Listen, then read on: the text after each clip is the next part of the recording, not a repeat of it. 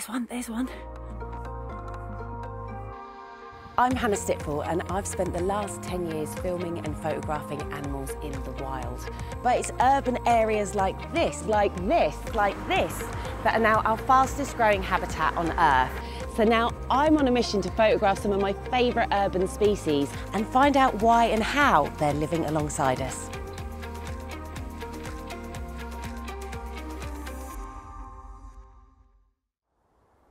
So it's about 6:30 in the morning. The reason I'm up this early is because I'm in this beautiful forest and I'm going to be looking for one of the rarest mammals we have here in the UK, the red squirrel. This is the exact sort of habitat you'd expect to find them, but they can be pretty shy. This is a pine cone. Now, obviously, we're used to seeing the full pine cones, but as you can see, this one, all of the seeds have been eaten out, and that's because the red squirrels twizzle around these pine cones and nibble out all of the nuts. I've just heard some scuttling up in the trees. Got their big claws, and as they're running around, it's quite a distinctive sound. And I just heard them. Oh, there's one, there's one. Sort of in the middle of the big, big pine tree at the back.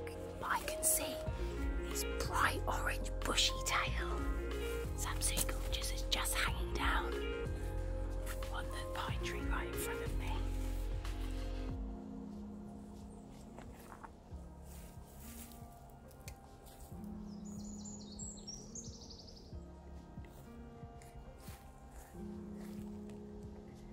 So I managed to get a photograph of a red squirrel, and needless to say, uh, it's it's not my finest work and it certainly won't be going on Instagram, but this is the exact sort of habitat you'd expect to find red squirrels and they are really difficult to photograph, especially when they're way at the top of these pine trees feeding. But the actual reason I've come here is because I've heard not too far from this exact forest, there's a population of red squirrels living in the middle of a town. So I'm in Formby, a town close to Liverpool, and to be honest, this seems like a pretty strange place to be looking for the red squirrel, you know, one of our rarest mammals in the UK. When we think of red squirrels, we think of sweeping pine forests and the Scottish Highlands. Not here. I mean, I'm next to some post boxes, there's loads of traffic, hundreds of people around. I'm not quite sure where they're actually going to be, but I've had a tip off they are here. So hopefully I'm going to have a look around and see one.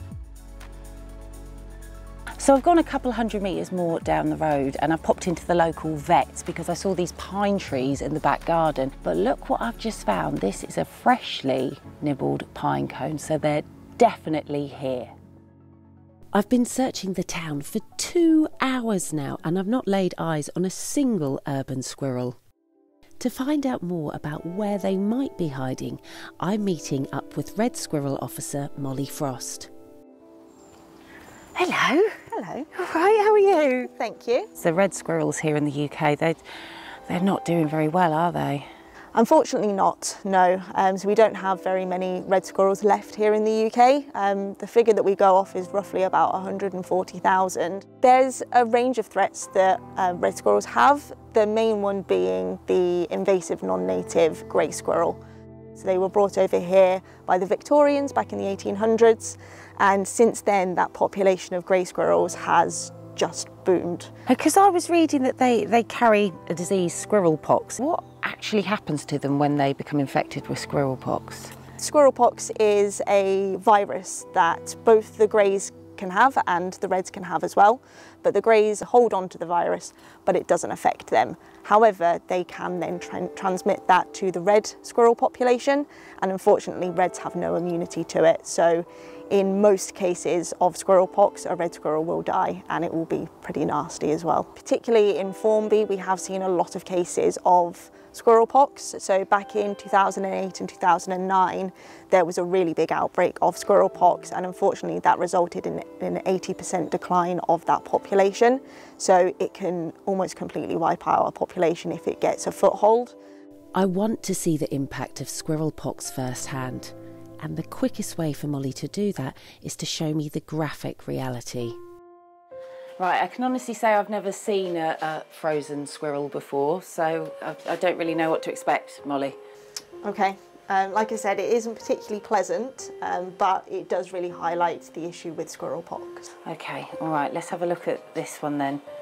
Oh, oh, poor thing. So you can just see kind of around the ears here, yeah. around that eye, and then this one's really, really bad. Um, so when it was alive, all of that will have been really inflamed. This has been the sad fate for a lot of red squirrel populations in the UK. But back in town, there are people determined to protect the squirrels that remain. I'm meeting up with local photographer Terry Donnelly, whose garden, it turns out, is one of the best places to see urban red squirrels in Formby. We moved to Formby in 2016. The following day when we moved in, we just spotted them uh, just along the bottom of the garden and just jumping through the trees. We discovered we had red squirrels that visit the garden daily. We, we, we couldn't leave, so we stayed. And what is it that you love most about red squirrels? If I had to use one word which describes them perfectly, it's quirky. Every single one has their own personality. Some are shy, some are a bit more bold, some like to show off. Um, Uh, and they're just fantastic characters to watch, they really are. And how does the overall community and your neighbours feel about having the red squirrels here? It's a concerted effort really where everybody tries to pull together.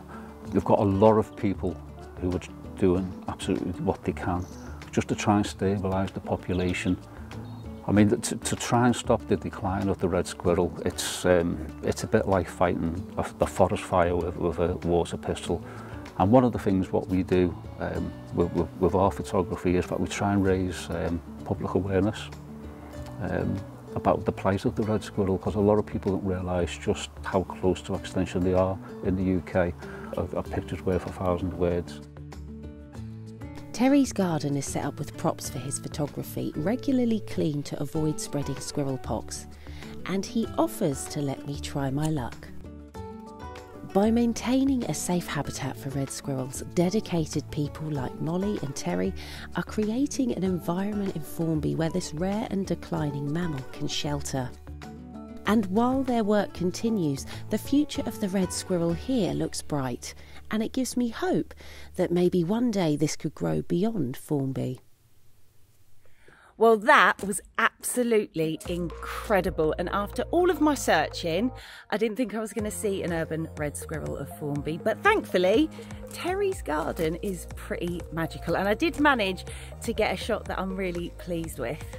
And it is of a red squirrel pushing a shopping trolley. I mean, it doesn't get much more urban than that. And just to think that there's a population of one of our rarest mammals in the UK living here in the middle of a town just goes to show that wildlife can survive alongside us if we just give them the chance.